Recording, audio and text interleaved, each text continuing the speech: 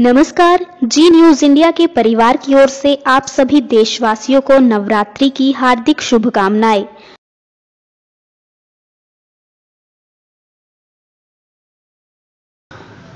शामली के कैराना में मिशन शक्ति अभियान के तहत रैली निकालकर सीओ व कोतवाली प्रभारी ने पुलिस चौकी में लगाई चौपाल। इस दौरान उन्होंने नारी शक्ति को समझाते हुए कहा कि विषम परिस्थितियों में कोई घबराना नहीं चाहिए, बल्कि पुलिस से सहायता लेनी चाहिए। उन्होंने हेल्पलाइन नंबरों से भी अवगत कराया। दरअसल, आपको बता दें कि शामली के कैराना में महिलाओं एवं बच्चों के सशक्तिकरण हेतु चलाए जा रहे मिशन शक्ति अभियान के तहत इमाम गेट पुलिस चौकी पर सीओ जितेंद्र कुमार व कोतवाली प्रभारी निरीक्षक प्रेमवीर सिंह राणा द्वारा कस्बे में रैली निकालकर एक चौपाल का आयोजन किया गया। इस दौरान महिला उप निरीक्षक अंजू सिंह द्वारा उपस्थित महिलाओं को मिशन शक्ति अभियान के बारे में विस्तार से जानकारी दी गई। उन्होंने बताया कि यदि कोई समस्या उत्पन्न हो रही है तो वुमेन पावर लाइन, महिला हेल्पलाइन, मुख्यमंत्री हेल्पलाइन, पुलिस आपातकालीन सेवा आदि पर अपनी शिकायत दर्ज कराए, जिस पर उनकी तत्काल सहायता की जाएगी। वहीं सीओ व कोतवाली प्रभारी ने कहा कि यदि बच्चा घर आकर किसी भी घटना के बारे में परिजनों को जानकारी दे तो उसे भी गंभीरता से ले। क्योंकि बच्चा कभी झूठ नहीं बोलता और पुलिस को पूरे मामले से अवगत कराए। इस दौरान उन्होंने कहा कि किसी भी विषम परिस्थितियों में घबराना नहीं चाहिए, बल्कि डटकर मुकाबला करना चाहिए। पुलिस की भी सहायता ले, उन्होंने सुरक्षा संबंधी भी दिशा निर्देश दिए। सीओ ने बताया कि 17 अक्टूबर से यह अभियान विशेष रूप से 25 अक्टूबर तक चलेगा। हालाँकि इसके बाद भी अभियान जारी रहेगा।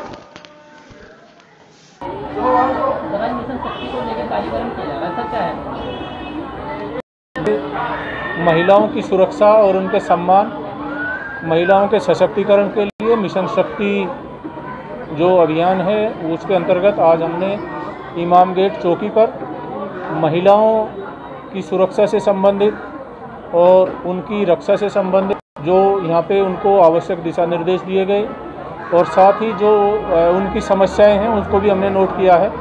और कुल मिला के जो महिलाओं की सुरक्षा से संबंधित जो भी आदेश निर्देश हैं उन सभी से इनको अवगत कराया गया।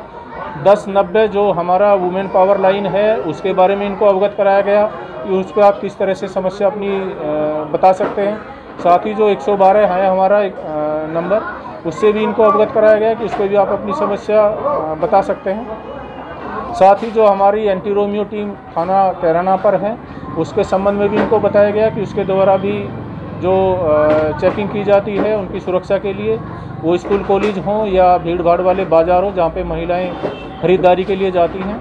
तो कुल मिला के जो हमारी सरकार की गाइडलाइन है और उसके अनुसार इन महिलाओं को हमने जागरूक करने का प्रयास किया है और साथ ही इनसे कि जो हम पुलिस और प्रशासन सदैव इनकी सुरक्षा और सम्मान के साथ हैं उन सब चीज़ों से इनको अवगत कराया गया। पर